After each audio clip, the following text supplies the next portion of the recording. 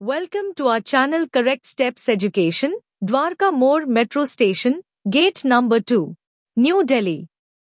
This dictation created by Chandar Shekhar Sir, get ready to take dictation at the speed of 120 word per minute.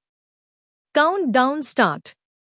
3, 2, 1. Start.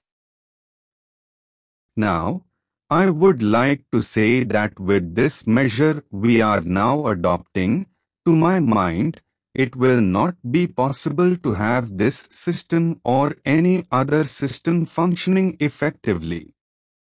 The number of clauses that we have included are so restrictive and rigid that it will not be possible for any system to function in this country.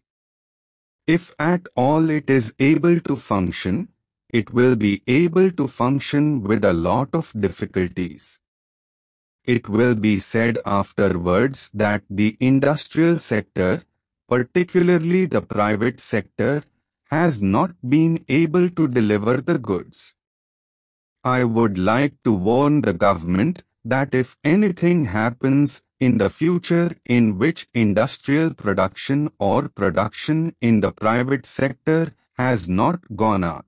It would be not because of any lack of efforts on the part of the private sector but because of the measure that we are now adopting.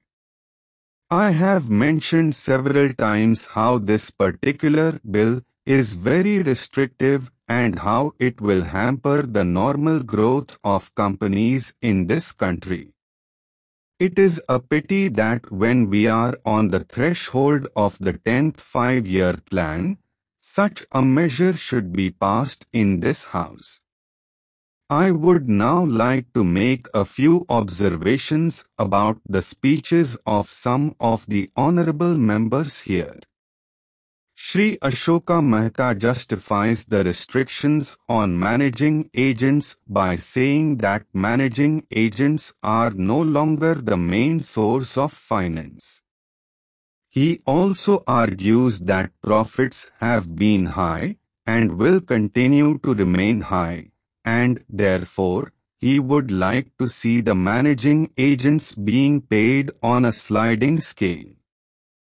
He is in the habit of referring to a number of books and making quotations from a number of them published in America or in other countries and particularly by some of the professors.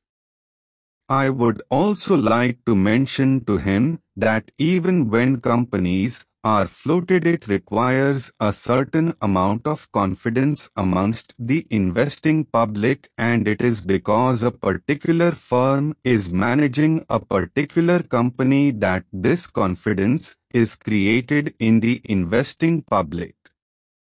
Even there, as the Honorable Finance Minister has said, there is a sort of overall tight control.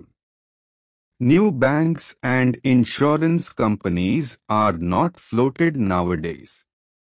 What you have are the few banks which are existing and the few insurance companies that are existing. The other point is that the credit worthiness of the managing agency firm does count to a certain extent in getting credit from the banks and other financial institutions. Yesterday, it was mentioned by my honorable friend that the crux of the problem is the question of payment of remuneration to a particular managing agency system. He said that in this bill a definite encouragement has been given to the alternative type of management, namely, the managing director or the manager, where an individual has been permitted to take 5% while in the case of the managing agency, it has been permitted to take about 10%.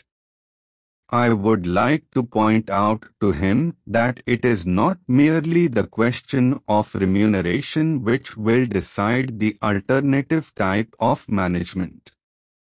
The remuneration is not a very important thing.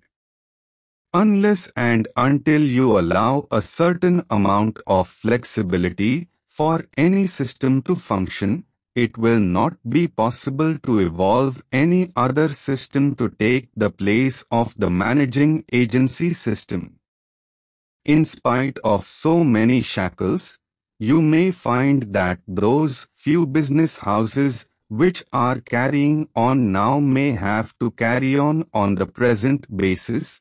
You may not find many new people coming in the field. Several times, it has been mentioned in this house why the business community has not prescribed for itself a code of conduct.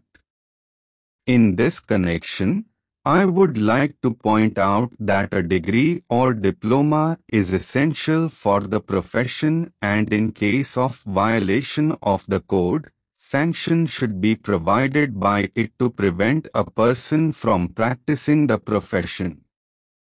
Today even Ashoka Mehta and Sri C.C. Shah can set up a grocery shop and become businessmen. Nobody lays down any condition for starting business and nobody can prevent others from continuing it, but I would like to point out that with regard to the code of conduct, there is a certain amount of ethics and there are certain standards and traditions on which business houses function. If a particular firm has not got proper ways of managing its business, you will find that that business house will find it difficult to function and it would be difficult for it to command the confidence of the business community. It would not be possible for it to function as effectively as a firm which has proper ways of managing its business. That is sufficient as a code of conduct. It is not possible to prescribe a certain code of conduct in the manner it has been done for the profession in general.